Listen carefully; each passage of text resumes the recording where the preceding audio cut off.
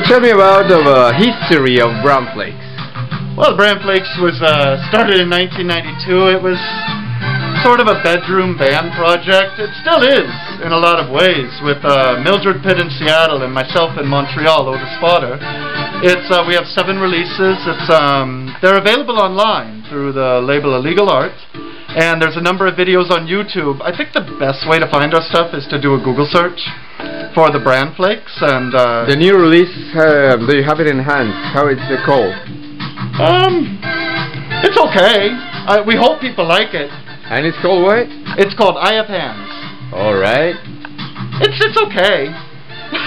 Alright. now tell me about uh, Comfort Stand.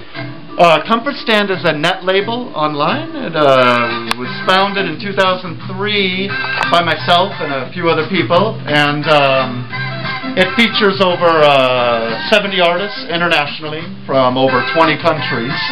And uh, the Lounge King actually is an artist on the label. And all material is free, licensed through Creative Commons, and hosted by the Internet Archive and WFMU's Free Music Archive Online. So it's a, a good place to use a lot of um, good music in your film, music productions, um, completely free, um, with no licensing.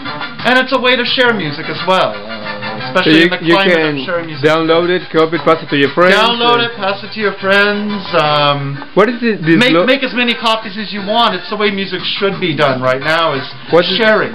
the slogan of the uh, Comfort Stand? It's um, comfortstand.com or do a Google search for comfort and stand.